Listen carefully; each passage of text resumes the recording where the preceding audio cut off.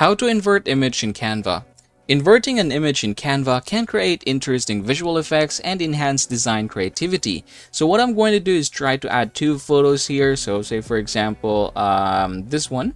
All right, I'm going to try to put it here and then I'm going to try to put another one. So I'm just going to show you that we can definitely do this one. Okay, and then we're going to do the same thing here.